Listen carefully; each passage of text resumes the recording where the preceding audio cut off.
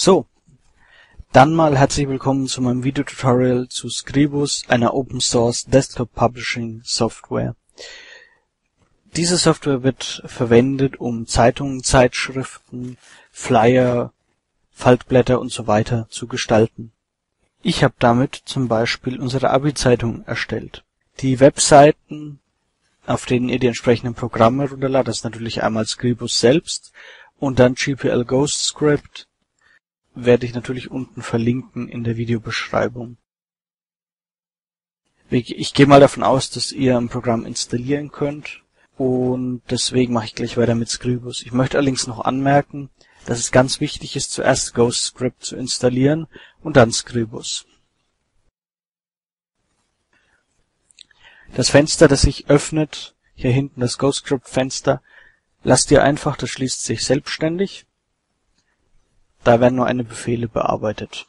So, hier haben wir gleich das Fenster Neues Dokument. Ich möchte allerdings vorher noch auf eine Kleinigkeit hinweisen. Unter Datei Allgemeine Einstellungen müsst ihr, sofern ihr die Reihenfolge von GhostScript und Scribus nicht eingehalten habt, nämlich noch eine Kleinigkeit umstellen.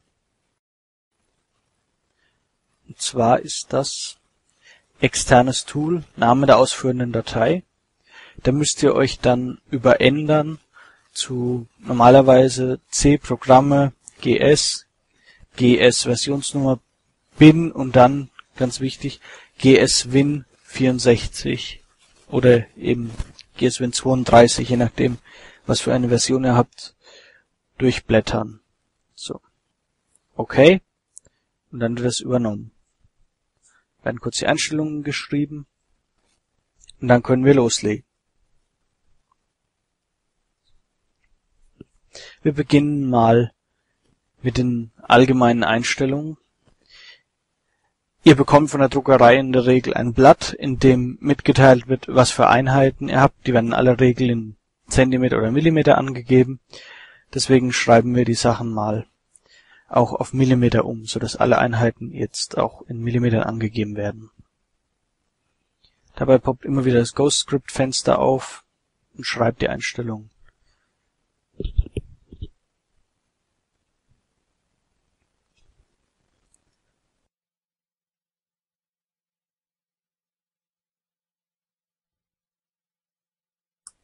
So, dann legen wir mal los und erstellen eine neue Datei. Wir haben hier die Möglichkeit Doppelseiten zu erstellen, einzelne Seiten, Dreifach- und Vierfachfaltung. Ich mache mal eine einzelne Seite.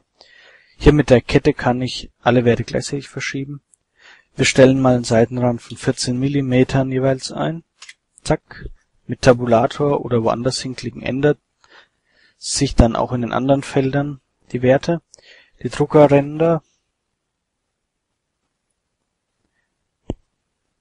werden hier angezeigt für die einzelnen Drucker, das brauchen wir aber nicht.